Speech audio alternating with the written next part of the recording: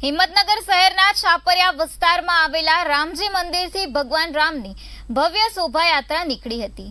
ગયા વર્ષે આ જ દિવસે શોભાયાત્રા પર પથ્થરમારો થયો હતો તો હિંમતનગર શહેરમાં તંગદિલી ફેલાતા કરફ્યુ લાદી દેવાયો હતો. ગયા વર્ષની ઘટનાનું આ વખતે પુનરાવર્તન ન થાય તે માટે સાબરકાંઠા પોલીસે આ વિસ્તારમાં પોલીસ કાફલો ખડકી દીધો હતો અને ડ્રોન કેમેરાથી સતત નજર રખાઈ હતી. તો ડીજે સાથે મોટી સંખ્યામાં રામ ભક્તો શોભાયાત્રા સાથે નીકળ્યા હતા. છાપરિયા વિસ્તારના રહીશોએ પણ આજે જનતા કર્ફ્યુ લગાવ્યો હતો અને સ્વૈચ્છિક રીતે ઘરની બહાર નીકળવાનું ટાળ્યું હતું.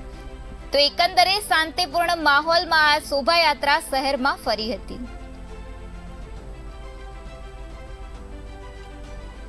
જય શ્રી રામ. આજ રોજ રામનવમીના દિવસે ભગવાન શ્રી રામનો રામોત્સવ જ્યારે ઉજવાઈ રહ્યો છે, ત્યારે હિંમતનગરની અંદર ભવ્યાથી ભવ્ય શોભાયાત્રા જે નીકળેલી છે.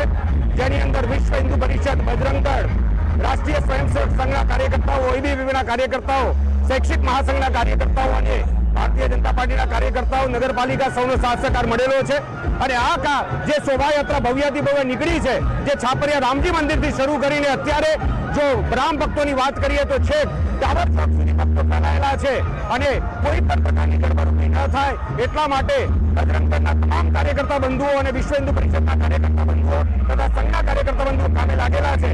અને સાથે સાથે પોલીસ તંત્ર દ્વારા પણ ખૂબ જ સારા પ્રકારનું આયોજન કરવામાં આવેલું છે. જેથી અનિચ્છનીય ઘટના બને નહીં. અને હિંમતનગર ઉપરાંત આજ રોજ હિંમતનગરની આસપાસના તમામ ગામો, ઈડર, વડાલી ખેડબ્રહ્મા પ્રાંતિજ તથા તલોદ વગેરે જગ્યાએથી આજે રામ ભક્તો ઉપસ્થિત થયા છે. તે તમામે તમામ સંગઠનો વિશ્વ